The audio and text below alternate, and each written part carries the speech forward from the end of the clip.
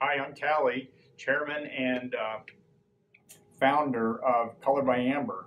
And I want to take just a minute today and talk to you about something near and dear to my heart, which is uh, Color by Amber's Full Circle program. I founded the Full Circle program over 10 years ago, uh, before Color by Amber uh, even started, as part of 3Form, which makes our wonderful, beautiful, translucent materials.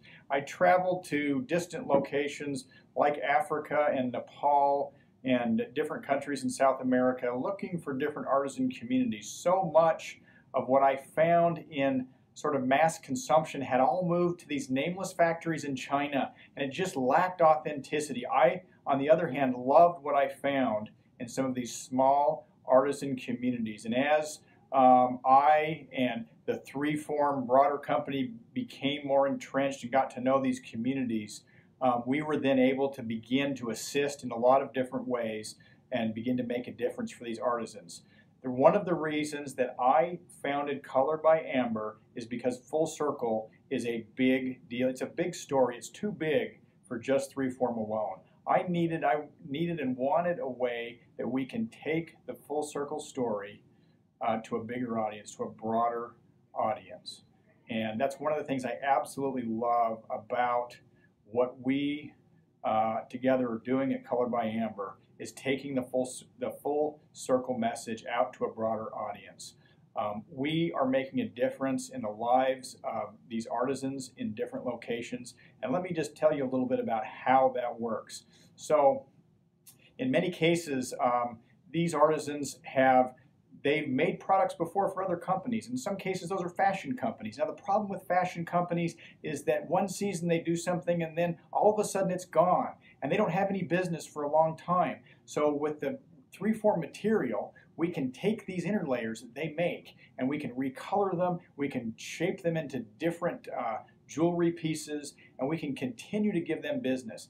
Their overriding concern is Talley, how can you can you create a consistent source of revenue for us. So first of all, understand that they set the price for these things. We don't haggle with them about, oh, we need it cheaper and you've got to do this faster and more efficiently. We understand how things work in Africa. In Africa, it takes a little longer to make that indem product in Africa to, to actually spin, to weave the fabric, to dye it, to sew those things together. It takes a little bit longer. These are, for that product alone, these are 10 women who come to work every day to a building that's been provided to them. Um, they bring their children with them, and they kind of trade off. And when you when you enter that building, it doesn't look like a very efficient factory with everybody just working as fast as they can. They do things a little differently over there. We recognize that. We are there to um, help them create a sustainable livelihood. Number two, to help train them so they have skills to prepare them to uh, you know, for the future.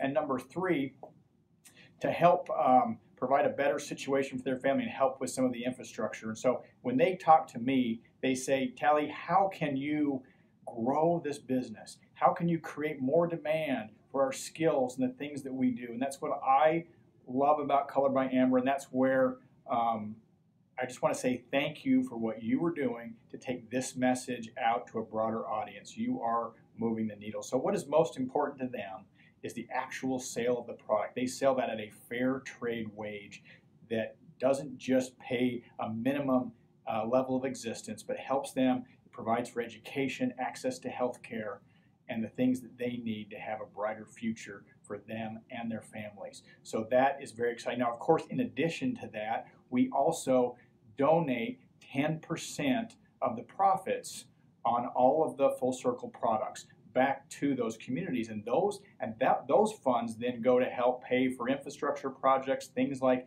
drip irrigation systems uh, training for the micro savings groups in Africa. And they're very appreciative of those things.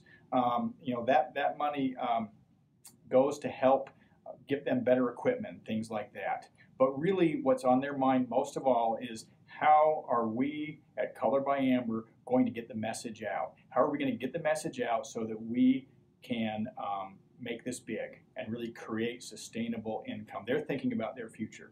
And they really aren't looking for a handout. What they want is a bright future. They're, they're willing to work. They simply want to have that um, opportunity and a market that can continue to create demand for the wonderful materials and products that they make every day. Nepal is a very similar story. We work very closely with Lakpa there. Lakpa Sherpa was born in the uh, Solu Khumbu region, and his father had been an entrepreneur. Lakpa's wife is deaf, and so he has um, empathy, a deep sense of empathy for women with disabilities. And he has a number of different workshops that work on different products. So the papermaking workshop up in the Solu Khumbu region is one of those. And then he, does, he has the silk workshop, and he has um, a number of other, you know, bamboo workshops in different areas. And several of those workshops, in particular the silk making workshop, employs almost exclusively women with handicaps, and particularly women who suffer from loss of hearing. And that's partially simply because of his background with his own wife and um, um, Lakpa in, in Nepal, we provide employment for over 300 women. And again, I get calls regularly from Lakpa asking me, how are things going? Talley, how are things going? Um, biggest concern is, can you keep generating demand? Can you grow the demand so that we can continue to provide opportunities for uh, our artisans here in Nepal? Artisan uh, Nepal is such a, an amazing area with a rich tradition of artisanry, artisanry, and they've suffered from really not having a market uh, for their for their products. So we are really creating a market for the products that they make every day. Um, now, of course, in Nepal, just like in Senegal, 10% of the uh, of the profits go back in the form of helping uh, pay for uh, um, reconstruction after the earthquake, new equipment. We're introducing micro savings in Nepal, and they are so appreciative of that. and They absolutely um, just love that. But that's not what's first and foremost on their minds. Are listen, we we uh, we want you to have a healthy business. We want to we want to know what are you doing to grow the business and the market for these products. They're thinking in the future. They're thinking, you know, two years from now, five years from now, are we going to continue? Is this going to be bigger than it is today? And my assurance to them is that I am so excited about what we are doing at Color by Amber. And I said, you need to meet our stylists. Our stylists are so amazing, and they do such an amazing job of taking this message, taking the full circle message out, and um, and talking about that, and helping get people excited about where these products come from. Not only are they amazingly beautiful, beautiful jewelry pieces, but they have a story unlike any other. There is no other company in the world that is doing what Color by Amber is doing today um, in order to help women artisans around the world, to empower these women artisans. So I'm very excited about it. So our full circle program is first and foremost, it is it is the heart of what we do. If you look at our jewelry, you see that these inner layers are encapsulated within each piece. And likewise, that whole we have structured our company around this so that every time that we uh, sell a piece of beautiful color by amber jewelry, um, a fair trade wage goes back to those artisans and they, we create that future for them.